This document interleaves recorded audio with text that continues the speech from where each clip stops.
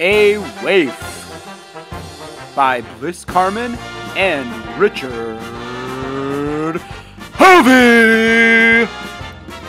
Do you know what it is to be a vagrant born? A waif is only a waif, and so for another idle hour I sit in large content while the fire burns low.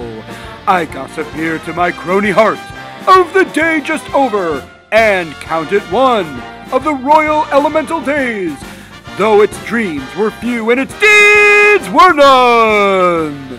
Outside the winter, inside the warmth, and a sweet oblivion of turmoil. Why? All for a gentle girlish hand with its warm and lingering good bye.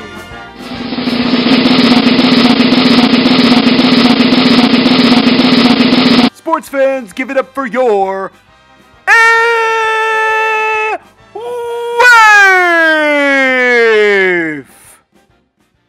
Read by Russell Jaffe, a Lit Aloud production.